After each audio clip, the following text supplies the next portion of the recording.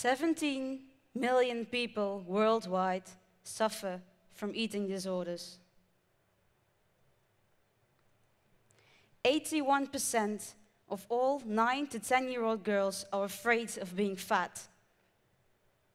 51% of all 10 year old girls admit they will feel better about themselves if they are on a diet.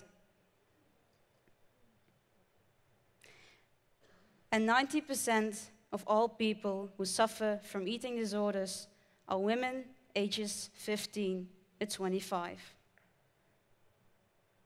Now, I would like to ask you, my audience, a question. Who around here feels 100% comfortable with their own body? Who around here absolutely likes the way they look? Just, just raise your hand if you do. Look, that's the spirit, people. But it should be everybody, right? Everybody should be able to feel comfortable with themselves. Now, I don't have the perfect body. I've got a little tummy, I've got stretch marks. I would like to show you, but I would probably be taken off stage. And the question I ask myself is why? Why is it so hard for, for many of us to look into the mirror and actually like what we see? Well, I think I found the answer. And the answer is body image. What is body image, you ask? Well, that's the way you see yourself and how you imagine you look. Because in today's society, your appearance is more important than anything else, of course. I mean, women, is it working? No, it's not. Now it is. Women, they should be skinny, have big boobs, and they are expected to dress sexy in order to be attractive for men.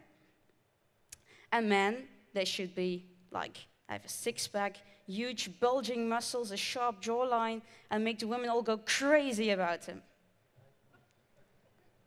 Because, well, heaven forbid if you are fat, the F word. Oh God, no. Nobody wants to be fat, right? Because for some reason, fat equals being ugly. Why? I don't know.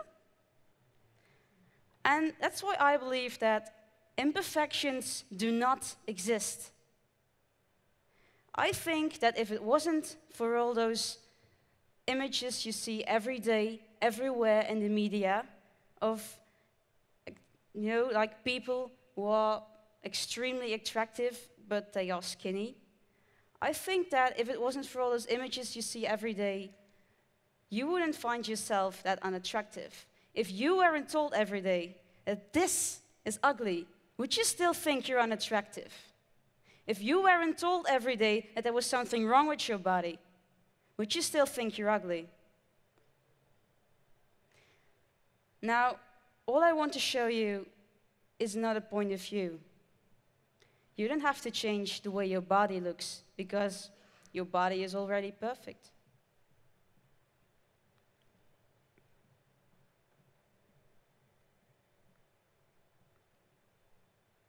I forgot what I was going to say. Um, oh, right. Um, I think what we need in this world is body positivity. Instead of bringing others down, try to give each other a compliment. If you see someone, you know, and they have nice hair, tell them it's not that difficult to create some kind of positivity. And maybe tomorrow morning, when you look in the mirror, you think of what I've told you. Thank you.